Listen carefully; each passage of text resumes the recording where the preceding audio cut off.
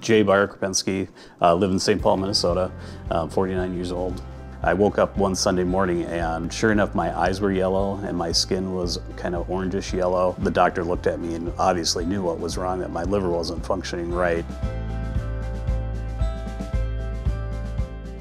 They said, you know, we, you know, your liver's not functioning like it should. And I really don't remember much after that for um, 49 days. They ended up taking 18 liters of fluid off my abdomen at that point in time and put me in induced coma in ICU.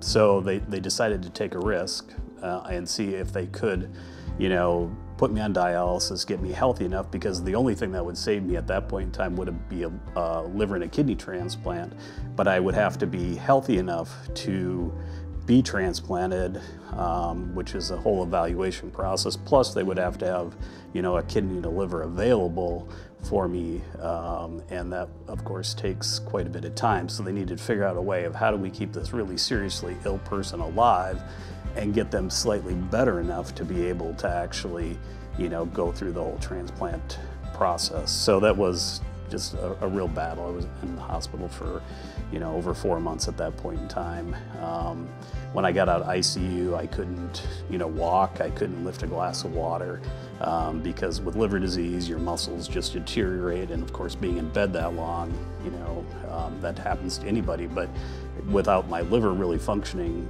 to build up any kind of muscle was really, really difficult. Trying to balance the two needs of what the liver needs and what the kidney needs don't always jive together. So it was kind of a constant battle with my doctors having to work together to figure out what the best course of action was. I was in and out of the hospital um, 12 times over about a five or six month time period. You know, it was just like is he going to make it long enough to be transplanted or not?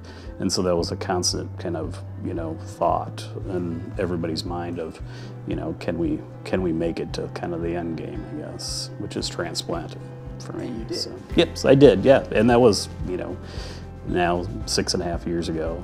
And fortunately, after transplant, um, I haven't been back to the hospital, which is very uh, unusual for a, a, kidney liver transplant patient because we tend to have more problems and issues. So um, I've been very, very fortunate in that regard. I, I, think the big thing is is people really have to advocate for themselves, or their their caregivers have to advocate for themselves. It's really important.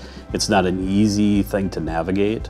Um, you know, I guess any health crisis isn't easy to navigate, but liver disease tends to be much more difficult because uh, there's many factors that are that really come into play um, in trying to balance things out because the liver does so many things for the body and that's one thing I don't think people really think about their liver very much you think about your heart it pumps blood and everything you know heart this heart that but the the liver does so many more things of you know building muscles and all kinds of things that you never even think about in, in my case I think you know um, what really kept me going was my family.